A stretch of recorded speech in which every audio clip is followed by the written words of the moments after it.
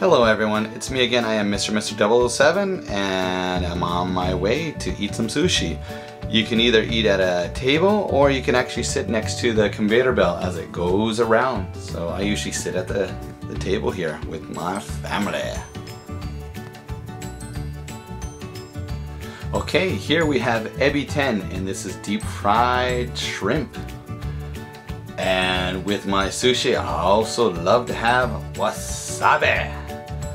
Okay, I got the package upside down here, if you can read it, maybe not, in red letters, wasabi. I love wasabi. And then you also need some soy sauce. And I put some soy sauce in the dish there. Then also we have green tea.